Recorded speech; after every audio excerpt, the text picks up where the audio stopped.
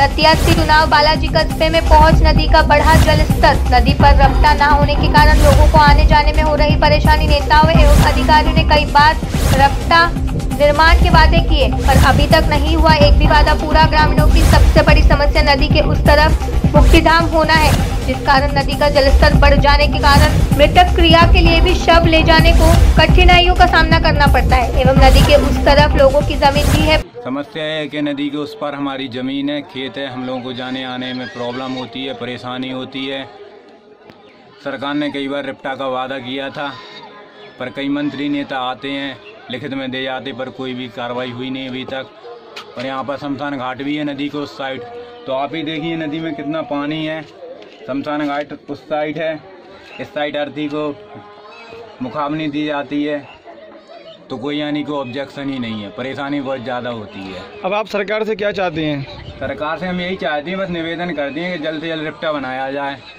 समस्या तो सर आप खुद ही देख रहे हैं। यहाँ पे जो आप देख रहे हैं, यहाँ पे मुक्ति धाम भी है उस साइड और यहाँ का रफ्ता का इतने लोग नेता आए चाहे वो बीजेपी सरकार हो या कांग्रेस सरकार हो, वादे सभी करते हैं, मगर यहाँ पर काम कोई नहीं कर पाता है।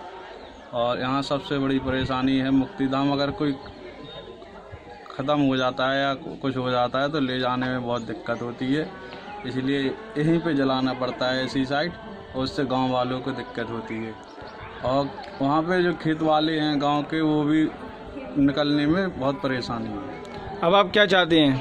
हम यही चाहते हैं कि यहाँ पे रिप्टा बनवाया जाए चाहे कोई सी भी सरकार हो। प्रशासन को जानकारी होने के बावजूद भी इस समस्या की तरफ़ ध्यान आकर्षित नहीं है।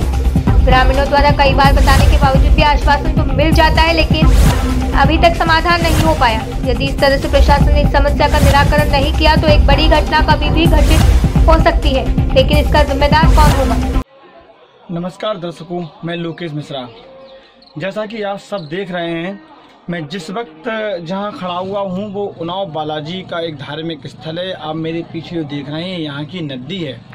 आज इस नदी का जलस्तर बढ़ गया है और जो आप मेरे सामने देख रहे हैं, वहाँ पे लोग फंसे हुए हैं, क्योंकि इस नदी पर किसी प्रकार प्रकार का रास्ता एवं पुल नहीं है।